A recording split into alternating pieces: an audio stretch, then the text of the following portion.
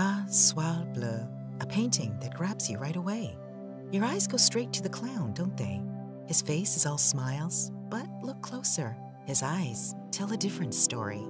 They show someone who's lonely and feels out of place. It's like he's quietly asking, Is this all there is? Well, this is the work of Edward Hopper. He was an American painter who was really good at showing what it's like to be alone or lost in thought. Soir Bleu is special because it's different from his usual American scenes. This time, he takes us to a cafe in Paris, but don't be fooled by the busy background. This painting is really about what it's like to be human. If you take a closer look at the clown, it's not just some character. He's us. He's you and me, dealing with the stress and pressure of everyday life. Feeling alone even when we're with others, always comparing ourselves to people around us, and feeling like we're not good enough. So get ready as we dive deep into this amazing painting and find out how it shows what so many of us are feeling in today's world. First, let's get to know the man behind the brush, Edward Hopper. Born in 1882 in Nyack, New York, Hopper was a guy who knew a thing or two about being alone. He wasn't the party guy. Instead, he was more of a watcher, an observer.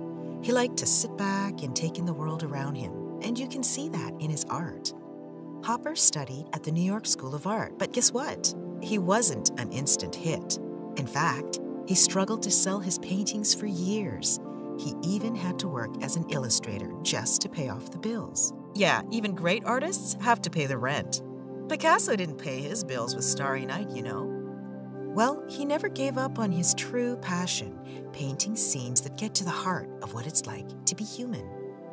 He had this unique way of showing everyday scenes, but making them feel heavy, loaded with emotion. Take his famous painting, Nighthawks, for example. It's just a diner with some people in it, right? But look closer and you'll feel the loneliness, the quiet tension. That's Hopper's magic. And here's where it gets interesting. Hopper himself was no stranger to feeling isolated. He once said, The loneliness thing is true. His own feelings of being alone, of being an outsider, they all seeped into his art. It's like he used his paintings to talk about the things he couldn't say out loud. When you look at Soir Bleu, know that the emotions you're seeing aren't made up. They're coming from a man who lived those feelings, who understood the weight of being alone in a crowd. Created in 1914, this painting is a bit of a curveball for Hopper. Instead of his usual American scenes, he takes us on a trip to a cafe in Paris. But don't get too caught up in the romantic idea of a Parisian evening. There's a lot more going on here.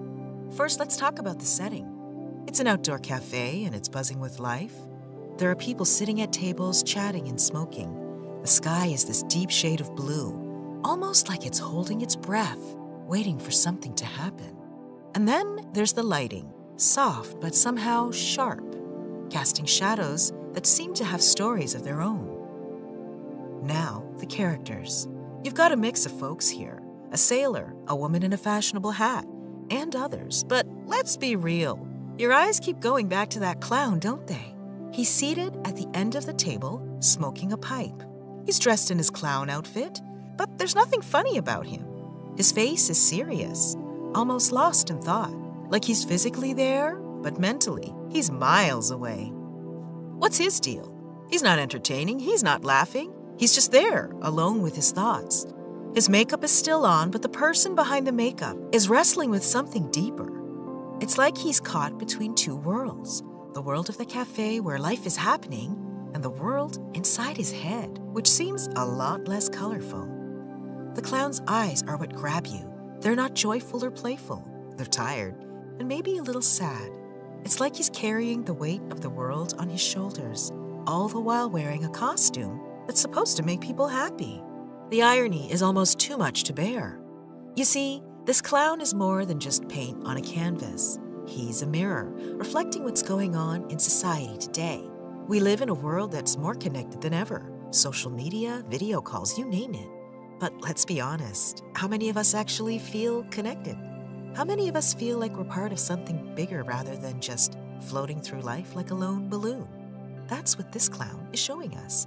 He's surrounded by people, but he's never felt more alone. Now let's talk about the mask. We all wear one, don't we? Not a clown mask, but a social mask. We put on a brave face, act like everything's fine, even when it's not. We post pictures that show us smiling, traveling, living our best life. But those snapshots don't tell the whole story. They don't show the struggles, the loneliness, the moments we question our place in the world. And this clown, with his makeup perfectly applied, is doing just that, wearing a mask while wrestling with feelings of isolation and failure. And here's where it gets even more real. Society has these norms, these expectations of how we should act, what we should achieve. Get a good job, find a partner, start a family. The list goes on. But what happens when we don't meet those expectations? We feel like failures, like we're not living up to the standard. That's the weight this clown is carrying. He's supposed to be the entertainer, the one who brings joy, but inside, he's crumbling under the pressure of societal norms. Now let's take a step back and look at the bigger picture, the time and place when Soir Bleu came to life. Painted in 1914, this was a momentous year. World War I was about to erupt, and the world was on the brink of massive change. It was a time of uncertainty, and you could argue that we're in a similar boat today. We've got our own challenges, social issues, a global pandemic, you name it. So, in a way, this painting is as relevant now as it was back then. But here's something you might not know. When Soir Bleu was first unveiled, it didn't get the warmest reception. In fact, Hopper himself was so disappointed with how it was received that he rolled up the canvas and didn't show it again for years. It was almost like the world wasn't ready for what he had to say. Fast forward to today, and the painting is considered a masterpiece, a deep dive into the human psyche. It's funny how time changes our perspective, isn't it? And let's not forget the controversies. While Soir Bleu may not have sparked debates like some other works of art, it did raise eyebrows. People questioned why Hopper, an American artist known for his American scenes, would choose a Parisian cafe as his setting. Maybe Hopper just really liked French fries, or should I say, freedom fries.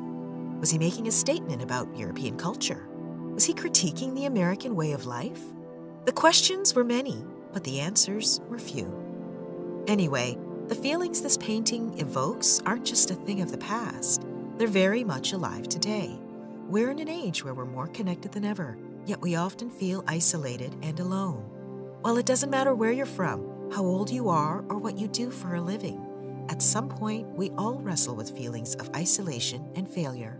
We all have moments when we question our worth, our place in the world, and that's what makes Soir Bleu so powerful.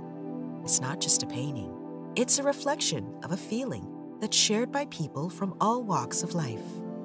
So the next time you're scrolling through social media, and seeing everyone's highlight reel, remember the clown in Soir Bleu. Remember that it's okay to feel out of place, to feel like you're not living up to society's expectations. Because at the end of the day, we're all a bit like that clown, trying to find our place in a world that often feels overwhelming and unforgiving. So, what about you? Have you ever felt like the clown in Soir Bleu, caught between the world around you and the world inside your head? Comment down below and see you in the next video.